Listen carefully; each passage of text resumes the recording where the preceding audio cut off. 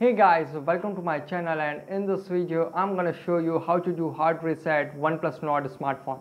Okay, to do hard reset, first power off your smartphone. Okay, now it is successful power off. Now press and hold volume down and power key together for few seconds.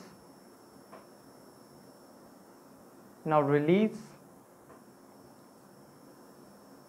now volume rocker is to move up and down and power button to select and you can also use the touch feature. You can see select english and now go to wipe data and cache and in this you can see reset system settings wipe cache and erase everything. Now go to erase everything and select.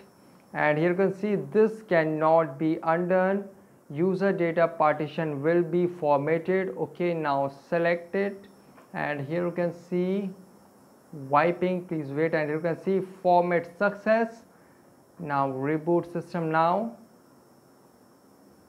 So guys uh, this is the method to hard reset oneplus nord smartphone easily. Guys thanks for watching. If you have any query let me know in comment section below.